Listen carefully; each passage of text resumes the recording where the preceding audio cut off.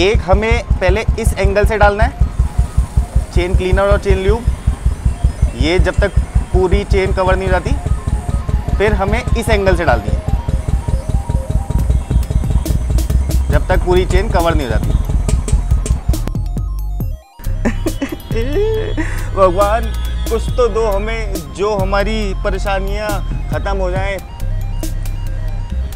Wow भगवान का आशीर्वाद। ये है डब्ल्यू डी फोर्टी हाँ भाइयों, बहनों डब्ल्यू डी फोर्टी सौ मर्च की एक दवा, ये है दवा। शाम को लेंगे हम दारू। अब देखते हैं कि ये क्या काम करती है। जैसे कि ये चरण बर जो आवाज़ें आती है ना, बाइकों में, गाड़ियों में, कर कर कर, पर पर पर, वो सारी ये ठीक करता है। ये मॉस्टर जो सीलन आ जाती है चीज़ों के अंदर, उसको दूर कर देता है। इलेक्ट्रॉनिक्स की सीलन को दूर कर देता है। दूसरा ये क्लीन एंड प्रोटेक्ट सबसे अच्छी बात है, ये क्लीनर तो है ही। ये प्रोटेक्ट भी करता है और ये ल्यूब भी करता है। अब वो मैं करके दिखाता हूँ कि क्या क्या अब ये चीज़ें पढ़ लो, ये ये ये करता है।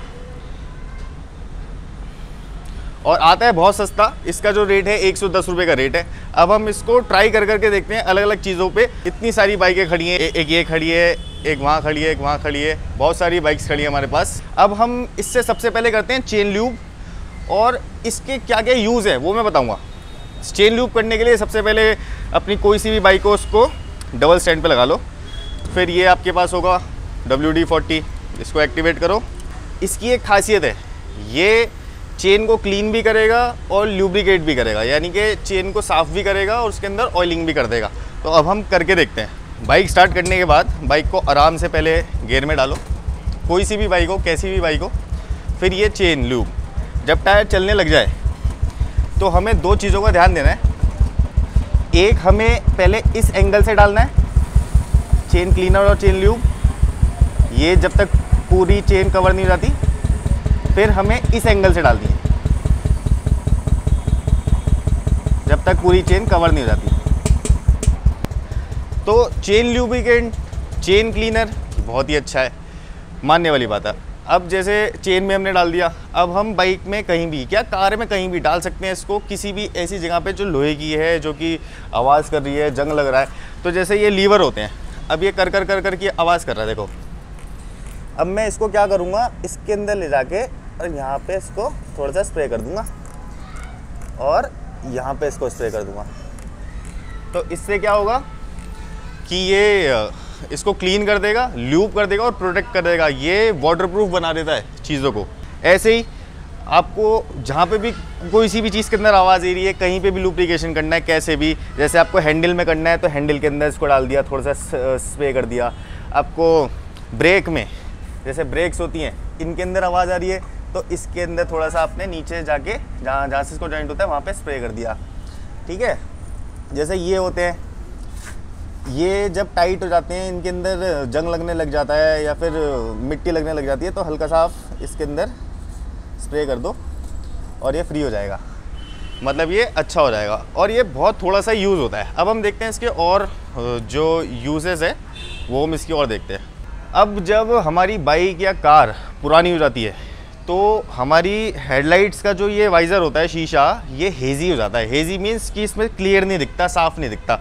उसको भी ये साफ़ कर देता है। अपनी गाड़ियों के शीशे, अपनी बाइकों के शीशे साफ़ कर लेना। अगर तुम्हारे ऐसे वाले हो रहे हैं, देखो अभी ये साफ़ नहीं है, बिल्कुल भी क्लियर नहीं है। अब हम इसके ऊपर थोड़ा सा डब्ल्यू डी फोर्टी डालेंगे और इसको रब करना शुरू करेंगे।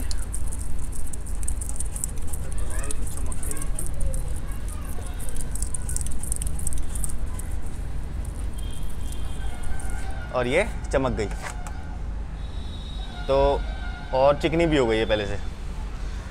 अब जैसे ये बाइक है सी बी टू फिफ्टी तो जैसे इसमें ये जंग लग रहा है जगह जगह पे ये जंग लग रहा है, ये जंग लग रहा है। जंग लग रहा है ना अलग अलग यहाँ पे। अब देखो इसके अंदर ये आवाज़ आ रही है और ये टाइट हो रहा है। और जैसे डिस्क में जंग लग रहा है। तो हम इसको इस चीज़ से भी क्योर कर सकते हैं। मैं हल्का सा इसके अंदर ये प्रेशर मार देता हूँ और ये बिल्कुल क्लीन हो जाएगा। और जैसे ये हुआ इसका, ये हुआ, देखो ये। ये आवाज़। इसको भी ऐसे करके हम क्लीन कर सकते हैं। और ये आवाज़ चली आएगी और ये फ्री हो जाएगा बिल्कुल अच्छे से। डिस्क पे भी डाल सकते हैं इसको। ये डालने के बाद सूख जाता है और फिर इसको साफ़ कर लो तो वो बिल्कुल क्लीन हो जाता है। तो ऐसी कोई प्रॉब्लम होती नहीं कि डिस्क नहीं लगेगी या ब्रेक नहीं लगेगी। अब जैसे हमने अपनी बाइक के अंदर तो देख लिया। अब घर की चीज़ें भी होती हैं, जैसे हमारे दरवाजे होते हैं, उसके अंदर कुंडियाँ होती हैं। ये ऐसे करके आवाज़ करती हैं और इनमें जंग लगा होता है तो हम इसके अंदर भी इसको डाल सकते हैं। ये मल्टीपर्पज़ है। जंग तो हटाएगा ही हटाएगा, उसको लुब्रिकेट भी करेगा। तो जैसे स्कूटर हम लोग यूज़ करते हैं तो हमारे जो स्कूटर के प्लास्टिक के पार्ट होते हैं ना, ये ऐसे हो जाते हैं फेड फेड से वाइट वाइट से हेजी हेजी से हो जाते हैं ये क्या काम करता है?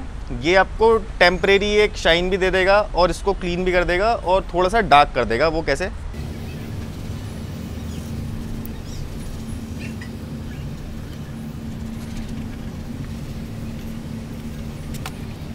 अब देखा फ़र्क, पहले कैसा था और अब कैसा हो गया? कुछ दिनों तक ये ऐसे ही रहेगा।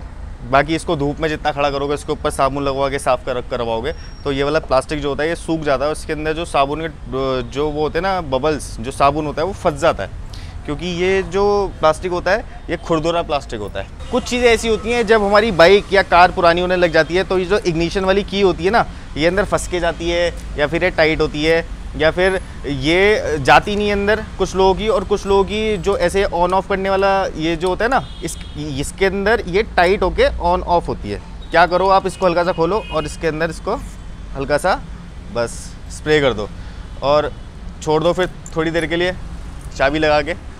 चाबी लगाने से ये होता है कि वो अपनी जगह बना लेती है और अच्छे से हर एक चीज़ को एडजस्ट कर देती है। उसके बाद आप जब इसको खोलोगे, बंद करोगे ना तो ये स्मूथ हो जाएगा और अच्छा भी लगता है फिर। बाइक और गाड़ियों में भी लॉक्स होते हैं, ऐसे वाले लॉक्स इसके अंदर ये लोहे का ही होता है। तो टाइम के अकॉर्डिंग ये टाइट हो जाता है, इसके अंदर जंग लग जाता है। अब, अभी मेरा नया है, इसलिए इसके अंदर जंग नहीं लगा बट मैं यूज़ दिखा रहा हूँ कि यूज़ कैसे कर सकते हैं। इसके अंदर भी आप हल्का सा इसको डालो और इसको खोल लो। तो मतलब कहने का जो मतलब है वो सिर्फ़ इतना है कि ये हर एक चीज़ को स्मूथ कर देगा, जंग लगी हुई चीज़ को साफ़ कर देगा, ग्रीस लगी हुई चीज़ को साफ़ कर देगा, चेन क्लीनर बहुत अच्छा है। अब जैसे ये बाइक हुई, इसके अंदर जैसे ये स्टैंड है, ये जाम है तो ये जाम है, इसको डब्ल्यू डी फोर्टी काम कर देगा इसके साथ में भी, हल्का सा डालो बस। और ये जो है, ये देखो, डालते के साथ ही फ्री हो जाता है। बैटरी, जैसे हमारी बैटरी होती है अब इस पर मैं बैटरी खोल के दिखाता हूँ एक बारी। इस पर क्या होता है ये जो पोर्ट्स होते हैं ना इनके अंदर कार्बन जम जाता है। वैसे रॉयल इनफील्ड ग्रीस लगा के देती है और एक ये पे, पेट्रोलियम जेली होती है। बट जिसकी बाइक पुरानी है उसमें तो पेट्रोलियम जैली है ग्रीस मिलती नहीं है और लोगों के जो ये बैटरी टर्मिनल्स होते हैं इनके अंदर ना जंग लग जाता है। उसी को जंग ना लगे उसी को हटाने के लिए और ल्यूब्रिकेशन के लिए है डब्ल्यू डी बहुत ही अच्छा प्रोडक्ट है एक बार यूज़ करो। मेरे पास इसका छोटा सा कैन है, लेकिन इसके बड़े बड़े कैन भी आते हैं तो उसके भी लिंक्स में दे दूँगा। और मैंने कुछ और भी छोटे मोटे जो प्रोडक्ट्स हैं, वो डिस्क्रिप्शन में डाल दिए हैं। ज़्यादा महँगे नहीं हैं, सस्ते से प्रोडक्ट हैं, जो हर कोई अफोर्ड कर सकता है और मंगा सकता है। और अमेज़ोन के लिंक हैं। सबसे अच्छी बात यह है कि अमेज़ोन की साइट से आप ख़रीदोगे तो एक विश्वास भी होता है दिल में। कि भाई अगर कुछ ख़राब निकला तो वापस भी जा सकता है। तो वीडियो देखने के बाद वो लिंक्स ज़रूर चेकआउट करना, जो मैंने डिस्क्रिप्शन में दिए हैं, क्योंकि बहुत सारे लोगों के जो कमेंट्स आते हैं, उसके अंदर वो कहते हैं, ये कहाँ से लें, वो कहाँ से लें, और इसको कैसे ख़रीदें पार्सल हो पाएगा या नहीं हो पाएगा? तो इसलिए मैंने वो जो लिंक्स थे अच्छे अच्छे प्रोडक्ट्स के, वो मैंने रख दिए अपनी डिस्क्रिप्शन में।